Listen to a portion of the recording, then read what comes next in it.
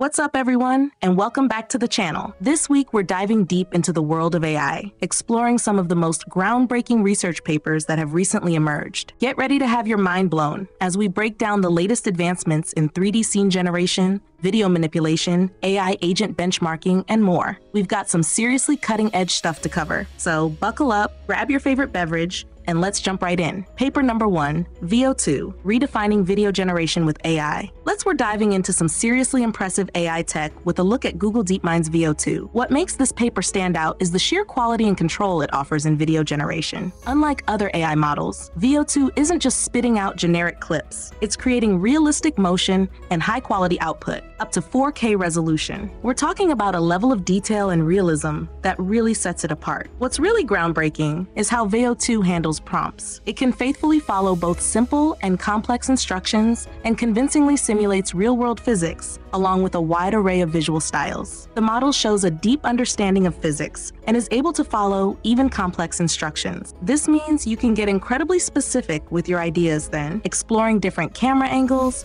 movements, and shot styles. Now, the paper doesn't just make these claims, it backs them up with benchmarks. Veo 2 has outperformed other leading video generation models based on human evaluations. In head to head comparisons, it performed best in overall preference and for its ability to follow prompts accurately. In one example, participants viewed 1,003 prompts and respective videos from the Movie Bench dataset. The paper also includes a range of prompts and the videos that were generated to show the scope of Veo 2's ability. These examples range from close ups of a DJ to a flock of pink flamingos a car drifting in a city, a lab scene, a dog swimming, and even a view of a Renaissance palace. This showcases the versatility of the model. However, it's important to note that the paper also points out the limitations. Creating videos that are consistently realistic, dynamic, or intricate remains a challenge. The paper admits that maintaining consistency throughout complex scenes or scenes with complex motion is something the team will continue to develop and refine. Paper number two, an agent benchmark with tasks in a simulated software company. We're diving into an exciting project called the Agent Company, an agent benchmark with tasks in a simulated software company. What makes this project stand out is that it's a benchmark specifically designed to evaluate how well AI agents perform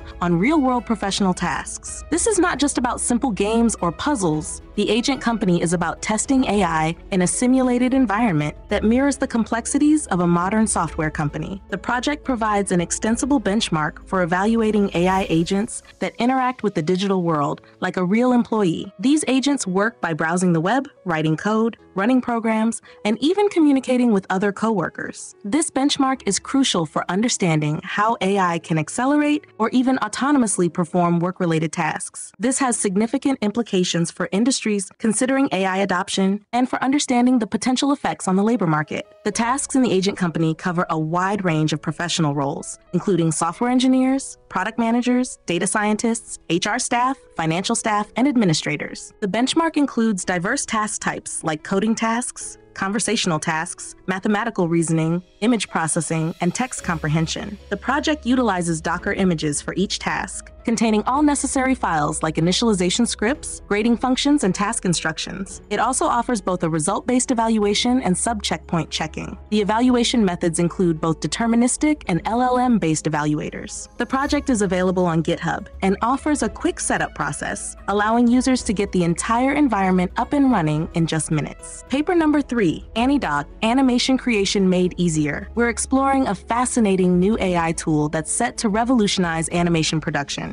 AniDoc. What makes this paper unique is its approach to automating the colorization of line art in videos, streamlining the animation workflow, and significantly reducing the amount of manual work. This isn't just another coloring tool. AniDoc is designed to address the challenges of aligning character designs with line art and maintaining temporal consistency in video. The core innovation of AniDoc lies in its all all in one model, which leverages priors from video diffusion models. It introduces an explicit correspondence mechanism with an injection module to accurately align color information from reference images to input sketches. This is a huge leap forward, as previous methods often required manually colored keyframes and dense line art guidance. AniDoc is able to work with binarized sketches and data augmentation techniques to further improve the training process. AniDoc's two stage training strategy is also a key differentiator. It allows the model to interpolate between keyframes, reducing the need for sketching intermediate frames, and enabling the creation of smooth and coherent animations even from sparse inputs. This means animators can now produce complete animations using only the start and end sketches of a sequence. One of AniDoc's standout features is its flexible usage. It can generate consistent colorizations across different video clips, even when the sketches vary significantly in pose or scale using the same reference. The model also preserves the identity of characters when different reference images are applied to the same sketch sequence, adapting finer details like lighting and background accordingly. Paper number four, Dispose, Disentangling Pose Guidance for Controllable Human Image Animation. We're talking about Dispose, a novel approach to controlling how animated figures move in videos. What makes this paper really unique is how it disentangles pose guidance into two key components, motion field guidance and key point correspondence, without needing additional dense inputs like depth maps. This approach allows for more generalizable and effective control, which means it works well even when the reference character and driving video have significant differences in body shape. The core idea behind Dispose is to extract robust control signals directly from the skeleton pose map and a reference image. Instead of relying on just sparse pose information, Dispose generates a dense motion field from the sparse motion field and the reference image. This dense motion field provides region level motion guidance, ensuring that the animation follows the desired movements more accurately. Think of it as filling in the blanks between the key points of the skeleton, so the animation flows more naturally and realistically. In addition to the motion field, Dispose also uses key point correspondence to maintain visual consistency. It extracts diffusion features corresponding to pose key points from the reference image. These point features are then transferred to the target pose ensuring that the animated figure keeps its distinct identity throughout the video. This is crucial for maintaining the character's appearance and preventing it from morphing into something else entirely. To integrate Dispose into existing video generation models, the authors have designed it as a plug and play module, similar to ControlNet. This means you can easily add Dispose to your existing models without needing to retrain the whole thing from scratch. Paper number five, Photometric Stereo based Large Reconstruction Model. We're exploring a groundbreaking new approach to 3D reconstruction with the paper called PRM. What makes PRM stand out is its use of photometric stereo to achieve high quality mesh reconstructions with fine grained local details. Unlike other large reconstruction models, PRM doesn't rely on images with fixed and simple lighting conditions. Instead, it renders photometric stereo images by varying materials and lighting, which not only enhances the precision of local details, but also makes the model more robust to variations in image appearance. This is a significant step forward in creating highly detailed and accurate 3D models. The core of PRM involves generating photometric stereo images through physically based rendering, PBR, with randomly varied materials, lighting, and camera poses. Along with these images, depth, normal, albedo, and lighting maps are also generated. These images and maps are then used to encode a mesh through a network. All of these associated maps, along with the rendered images, are used for supervision during training. This diverse range of supervisions ensures that the model learns to capture fine details and variations effectively. PRM also uses a real-time rendering method and mesh rasterization for online image rendering, which provides enhanced flexibility. This approach allows for differentiable PBR, which makes it possible to use multiple photometric supervisions and model specular color accurately for better geometry optimization. This is a key advantage, as it leads to higher quality reconstructions, especially in modeling complex lighting effects. Additionally, the system uses an explicit mesh as its 3D representation. Paper number 6 FCVG Generative In-Betweening Through Framewise Conditions Driven Video Generation. We're going to be exploring a really cool paper titled Generative In-Betweening Through Framewise Conditions Driven Video Generation, or FCVG for short. Now, you might be wondering what makes this paper special? Well, it tackles a big problem in video generation maintaining temporal stability when creating frames between two key input frames. Existing methods often struggle with this, especially when there's a significant difference between the keyframes, leading to shaky and incoherent transitions. FCVG's unique approach is that it provides an explicit condition for each frame, which makes it much easier to define the path of the interpolation. So, how does FCVG work its magic? The method extracts matched lines from the two input frames. These matched lines can then be easily interpolated frame by frame. These interpolated lines act as frame-wise conditions, which are then seamlessly integrated into existing video generation models. This means that FCVG can be used with other video generation models, making it very flexible. This approach allows for much more stable video generation, even with both linear and nonlinear interpolation curves. The researchers also did some tests by removing key conditions. They found that removing the line matching condition negative, negatively affects the overall motion of the scene, and removing the pose condition impacts the details of human movements. In their experiments, FCVG showed impressive results across a range of scenarios, such as natural landscapes, complex human poses, and camera movements. It even works well with animations. They included an ablation study where they removed the matching and pose conditions. The results of removing these conditions are shown in the paper. Although the method produces great results, the authors do acknowledge limitations. You can check out the paper to see examples of these limitations, including situations where the method struggles with a large amount of motion and deformation. Paper number seven, Wonderland, Navigating 3D Scenes from a Single Image. We're exploring a super cool project called Wonderland,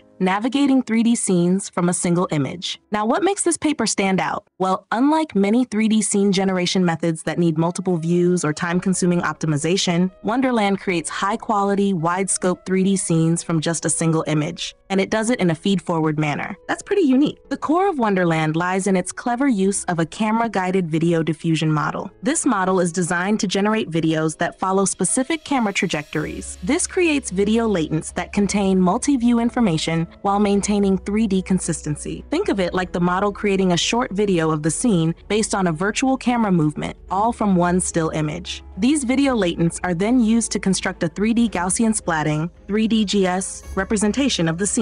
The researchers then use a large-scale reconstruction model which operates in the latent space of the video diffusion model. This model is trained using a progressive strategy, allowing it to efficiently generate high-quality 3D scenes. The whole process happens in a feed-forward manner meaning it's fast. The resulting 3D scenes are not just simple reconstructions, they are wide scope and can be extensively navigated. You can also explore these scenes using multiple camera trajectories. In short, Wonderland is a significant step forward in single view 3D scene generation. It leverages the power of video diffusion models to create 3D aware video latents, which are then used to build detailed 3D scenes with extensive navigation capabilities. It's a game changer for quickly generating 3D scenes from just a single image. Paper number 8 Mastering 3D Trajectory for Multi Entity Motion in Video Generation. Let's dive into another exciting new paper titled 3D Master Mastering 3D Trajectory for Multi Entity Motion in Video Generation. What makes this project really special is its ability to control the 3D movement of multiple entities within a generated video.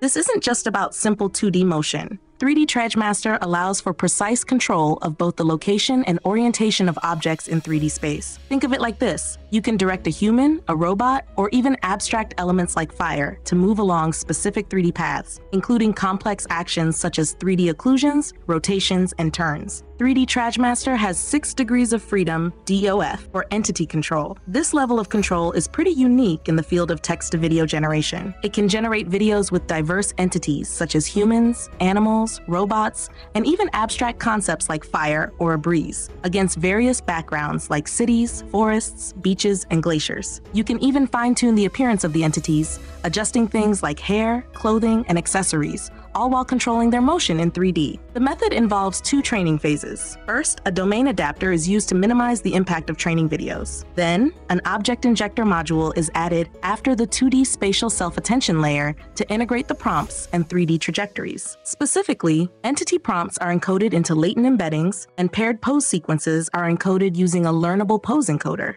These are then fused to form entity trajectory correspondences, which are used to condition the video generation process. The generated videos can include complex 3D trajectories with up to three entities at once, each moving independently. 3D TrajMaster uses a text prompt to define the entities, a learnable pose encoder for trajectories, and gated self-attention layer for motion fusion to ensure the generated videos match the desired motion. Paper number 9. PanoDreamer 3D panorama synthesis from a single image. What makes PanoDreamer unique is its ability to create a coherent 360 degree 3D scene from just a single 2D input image. This is a significant leap from previous methods that often struggle with consistency and visible seams when generating panoramic scenes. Unlike other methods, which generate scenes sequentially, PanoDreamer tackles the problem as a single image panorama and depth estimation challenge. PanoDreamer's method involves two key optimization tasks tasks. First, it generates a 360 degrees panoramic image using an in-painting diffusion model. This is framed as an optimization task solved through an alternating minimization strategy. During this process,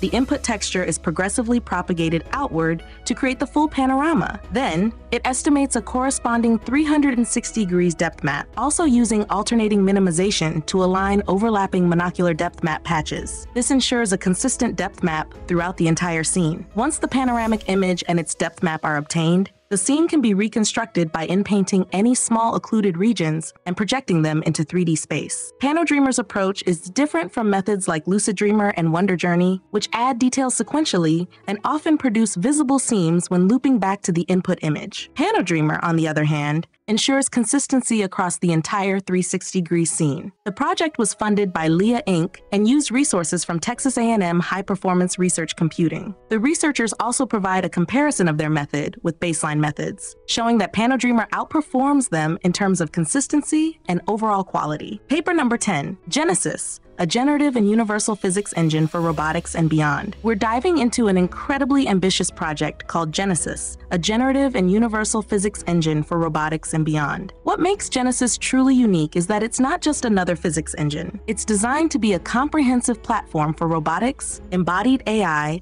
and physical AI applications. It's essentially a multifaceted tool that combines a universal physics engine, a robotics simulation platform, a photorealistic rendering system, and a generative data engine all into one. At its core, Genesis is a universal physics engine rebuilt from the ground up, capable of simulating a wide array of materials and physical phenomena. This engine is highly optimized with GPU accelerated parallel computation, achieving simulation speeds that are many times faster than real time. For instance, when simulating a manipulation scene, it runs at 43 million FPS, 430,000 times faster than in real time. It also includes features like auto hibernation to speed up simulations with static entities. Beyond just physics, Genesis includes a generative framework that can automatically produce various types of data. This includes physically accurate videos, camera motion, human and animal character motion, robotic manipulation policies, fully interactive 3D scenes, and even speech audio and facial animation. This generative aspect is powered by a VLM-based agent that uses the simulation's APIs to create 4D dynamic worlds, which can then be used to generate the various data modalities. The platform also supports the simulation of soft robots and hybrid robots.